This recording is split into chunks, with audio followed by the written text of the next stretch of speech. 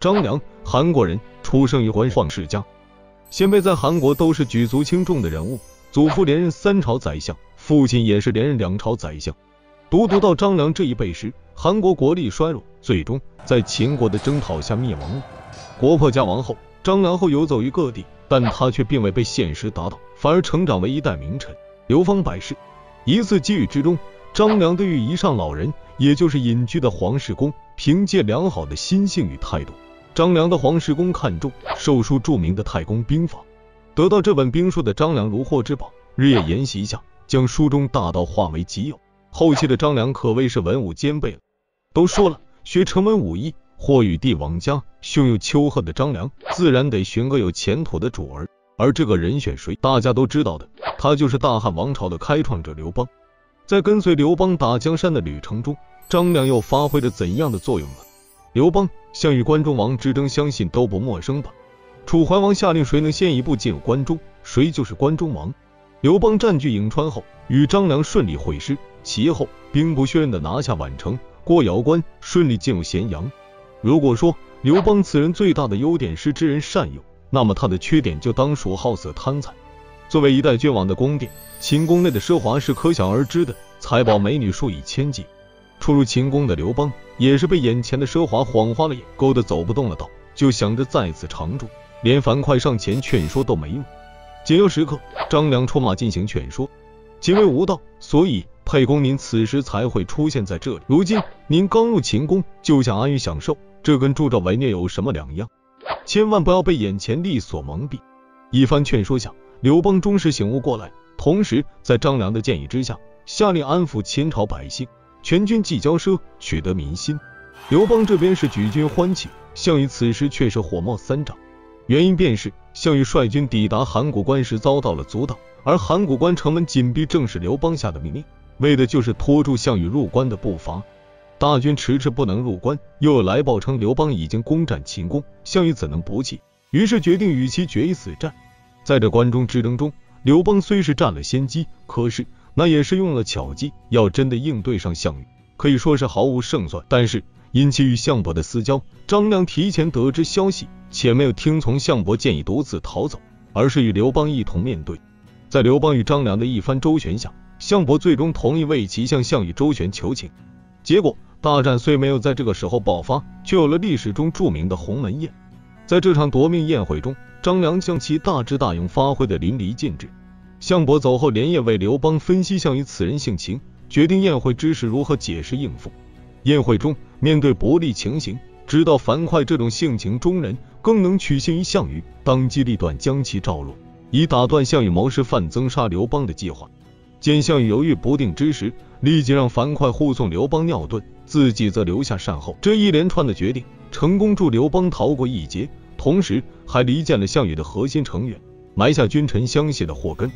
既然刘邦示弱，项羽也就没有必要遵守先入关者为王的约定，自立为西楚霸王，同时济公割地，将刘邦分封到巴蜀之地为汉中王。巴蜀向来荒凉偏僻，刘邦自然心有不满，想着反攻，最终被张良等谋士劝阻。但是要能争取更多的利益，自然是好的。于是张良再一次贿赂拉拢项伯，让其成功劝说服项羽为刘邦加封汉中地区。至此，刘邦占据巴蜀、汉中三郡。刘邦率军去往封地的途中，经过果中，此地沿途都是悬崖峭壁。只能靠凌空的栈道渡人。张良见此便献计，让刘邦一行人过后就将栈道烧毁，以示汉军再无东顾之意，打消项羽的猜忌，还能防备敌人袭击，以休养生息。入汉中后，刘邦励精图治，修整军队，而后暗度陈仓，定三秦，占据汉中。到公元前二百零五年，刘邦的势力发展到足以支撑他与项羽一战。张良也因项羽杀了韩王成，自己相韩无望而逃出彭城，彻底归顺刘邦。这一年，项羽率军攻打田荣，忽略了后方阵营。刘邦则趁机攻占楚都彭城，可惜被胜利冲昏头的刘邦未能及时进行部署，彭城又被项羽抢回去了。汉军被迫逃至下邑。面对这样的局势，刘邦深感无计可施，于是问计张良：若以关东为彩头，谁能成为自己的联盟，共同反楚？张良此时提出三人，一为九江王秦布，他虽为楚国猛将。却与项羽有嫌隙，在彭城之战中，项羽让其相助，他却选择隔岸观火。二为彭越，他早就因未受到分封而对项羽不满，田荣、反楚就曾联络过他。而汉军之中，唯有韩信尚可独当一面。以关东为例，这三人组成内外联盟，拿下楚国就不成问题了。虽樊楚之战中有些意外，比如韩信夺起了自立为王，刘邦还不得不在张良的劝说下，派人前去授予齐王义。再比如离胜利只差临门一脚时，韩信。彭越却因刘邦没有明确赐予他们封地而不派兵，逼得刘邦战前就得先赐予其封地。但是总的来说，刘邦还是取得了最终的胜利。项羽于垓下自刎。公元前二百零二年，汉朝始建，刘邦称帝。而后张良在权衡利弊后，劝说刘邦顶都关中。至此，我们看到的都是张良的足智多谋、运筹帷幄。其实，张良最终能够功成身退、名留青史，还离不开他的进退有度。刘邦宠爱戚夫人是众所周知的，后来甚至产生废太子重立戚夫人之子赵王为东宫的想法。重立太子对朝堂来说是何等大事，这个想法一提出，大臣自然是诸多争议，迟迟未定。眼看太子之位危矣，吕后想起刘后张良，于是派遣吕泽前去问计。面对这个问题，张良最初的回答却是模棱两可的。总之一句话，如今天下大定，高祖若是铁了心。按自己的喜好来定太子，就算群臣上谏也是没用的。听了这回答，吕子哪敢就这么回去啊？于是再加追问，最终张良道：“此难以口舌争之。”最终张良给出一计，让太子去请高帝都敦聘不至的商山四号出山。商山四号是秦朝末年四位信奉黄老之学的博士：东元公唐弼、夏皇公崔广、齐礼记吴石、陆里先生周树。他们是秦始皇时七十名博士官中的四位，分别执掌通古今、辨然否、点教职。后来他们隐居于商山，后人则用商山四号来泛指有名望的隐士。高帝见太子有这四隐士相助，觉得太子羽翼已丰，自然就不会再提议太子一事。结果果然如其所料，在这件事中，张良最初是摆出旁观者的态度，就算后来给出良计，自己也未曾参与其中。更别说是像从前一样劝说高帝了。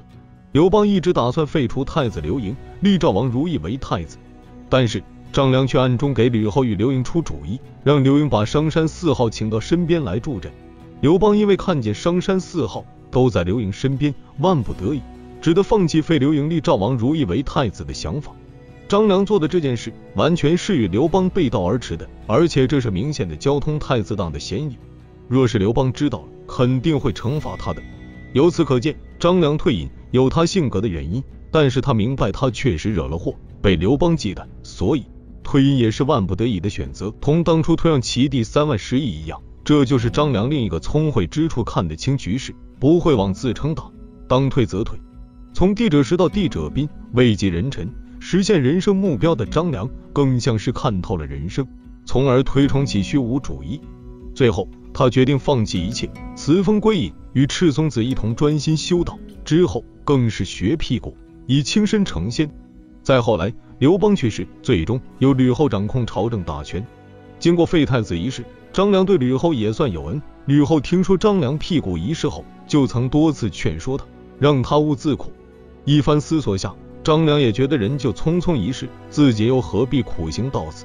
于是又恢复了正常进食。相传张良助刘邦平定天下后，即寻其师黄石公居住的通城县张师山。张良在张师山相距约五十公里处，访得一风景宜人的黄袍山隐居下来。张良并修建了梁山道观，在道观不远处创办了法贵书院，以收当地孩子文字。法贵书院遗址位于湖北省通城县黄袍山大国山谷中，法贵书院古石碑仍存。黄袍山后人为了纪念张良，为其修建了皮桥和石墓。无论张良是真的一心向道，还是单纯的归隐避世，他的才智谋略，他的生平事迹，都跟他的传奇故事一样，为后世人们津津乐道。